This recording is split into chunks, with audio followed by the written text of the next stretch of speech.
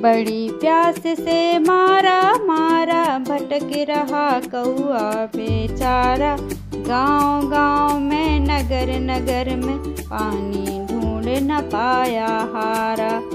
सहसा एक घड़ा जो देखा, पर पानी था थोड़ा उसमें। कंकड़ कंकड़ चुनकर कौआ लगा फेंकने बीच घड़े में। घड़े गर्दन तक जब पानी पहुँचा, तब निज प्यास बुझाई, अक्ल और मेहनत के बल पर किसने नहीं सफलता पाई?